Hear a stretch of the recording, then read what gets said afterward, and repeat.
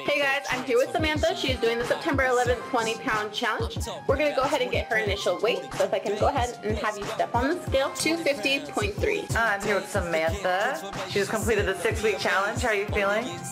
Nervous. Nervous. She's ready to go though.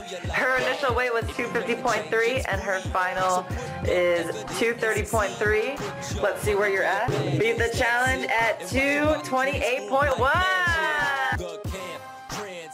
Asian Center. Sign up now and don't be a stranger.